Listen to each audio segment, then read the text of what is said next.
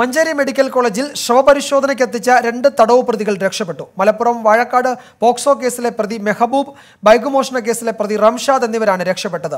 ഇന്ന് രാവിലെയാണ് ഇരുവരും പോലീസിന്റെ കണ്ണുവെട്ടിച്ച് രക്ഷപ്പെട്ടത്. അഷ്കർ അലി വിവരങ്ങൾ നൽകും മലപ്പുറത്തു നിന്ന്.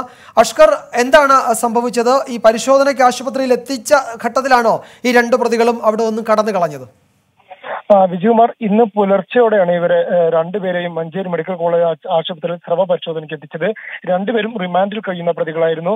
ഇവർക്ക് പ്രത്യേകിച്ച് മഞ്ചേരി മെഡിക്കൽ കോളേജിൽ ഇത്തരത്തിൽ എത്തുന്ന പ്രതികൾക്ക് വേണ്ടി പ്രത്യേക പോലീസിന്റെ കാവലും പ്രത്യേക വാർഡും തന്നെ പരിശോധനയ്ക്കായി ഒരുക്കുകയും ചെയ്തിരുന്നു. എന്നാൽ അതിനിടയിലാണ് ഇവർ അപ്രതീക്ഷിതമായി പോലീസിനെ വെട്ടിച്ച് കടന്നു കളഞ്ഞത്. ഇതിൽ ഒരാൾ മോഷണ കേസ് പ്രതിയും ഒരാൾ പോക്സോ കേസ് പ്രതിയുമാണ്. ഇവർക്ക് എതിരെ കൊണ്ടോട്ടിയിലും അതുപോലെ തന്നെ വടകരയിലും അടക്കം വിവിധ പോലീസ് സ്റ്റേഷനുകളിൽ മറ്റ് നിരവധി ക്രൈമുകൾ കൂടി രജിസ്റ്റർ ചെയ്തിട്ടുണ്ട്. എന്നാൽ അതിനിടയിൽ ഇന്ന് രണ്ടുപേരും പുലർച്ചയോടുകൂടി തന്നെ ആശുപത്രിയിൽ നിന്നും പോലീസിന്റെ കണ്ണു വെട്ടിച്ച് രക്ഷപ്പെടുത്തു രക്ഷപ്പെടുകയായിരുന്നു.